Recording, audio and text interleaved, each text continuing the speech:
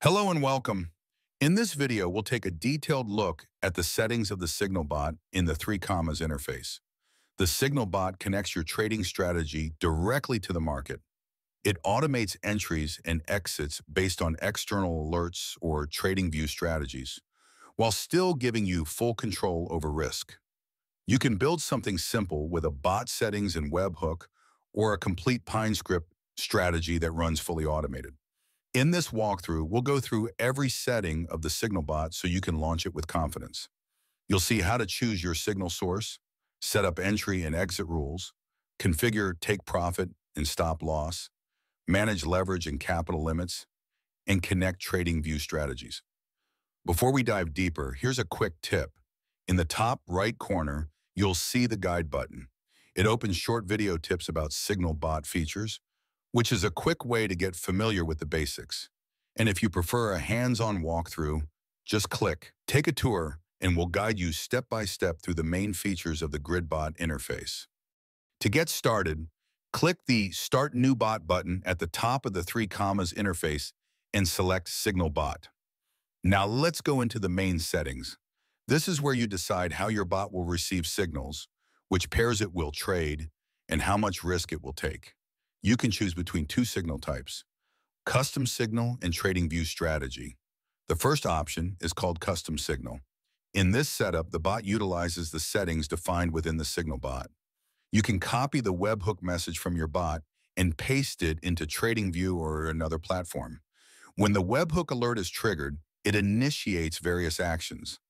This allows you to transform any TradingView indicator or configuration into an automated trading strategy with the bot executing trades in real time.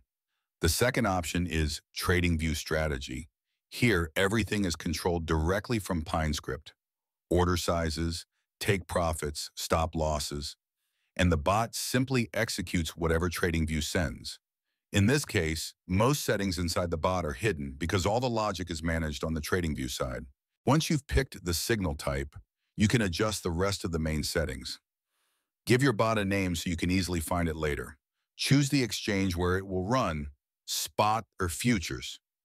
Then set the trading direction, long, short, or reversal.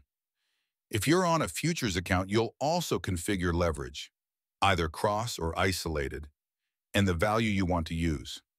Next, select the trading pairs for your bot, one or multiple, and set the maximum investment, which limits how much of your balance the bot can use. If you're running multiple pairs, you can also limit the maximum number of active trades at the same time. After that, we move to the Signal Alerts section.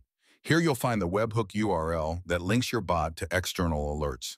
Simply copy this URL into TradingView or any other platform that supports webhook messages, and your bot will automatically receive and execute trading signals in real time turning your external alerts into live trades on your exchange.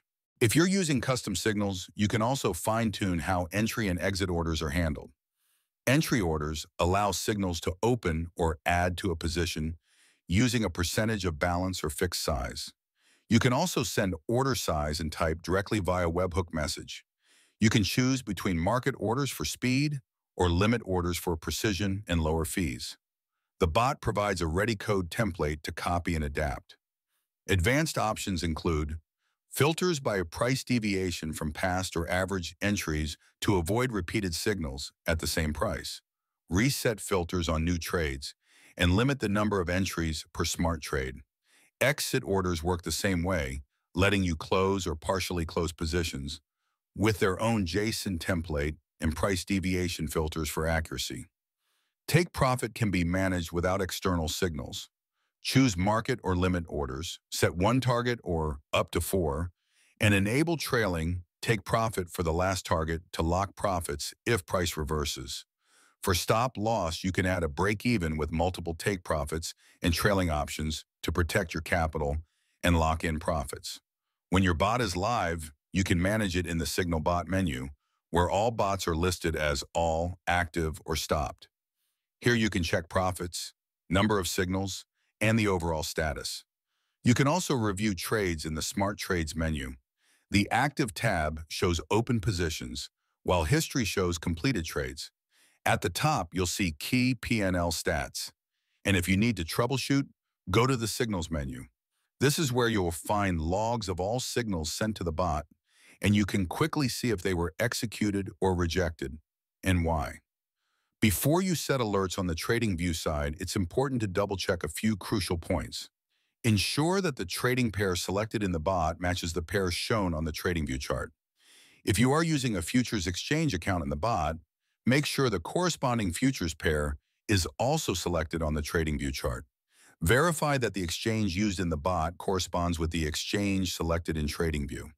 If you are testing the strategy on a demo account, select the Binance Spot Exchange account on the TradingView side and the appropriate trading pair to ensure that the signals reach the bot.